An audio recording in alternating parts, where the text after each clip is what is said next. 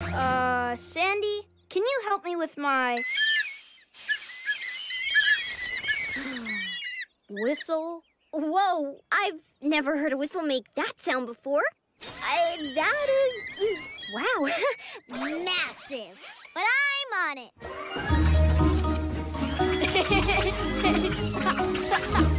Try now. Great! I'm ready to hear my old. Wow, this really is a more massive deal than we thought. For a job this big, I'm gonna need my extra special tools. Meet me at the sheds later? okay. See you then. Uh, go easy on that totally, completely broken whistle. I know you want it to be fixed, but it's just a little longer, and then you can get your peep back.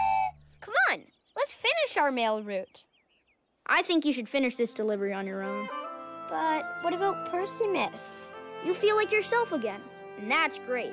But I won't until this is fixed.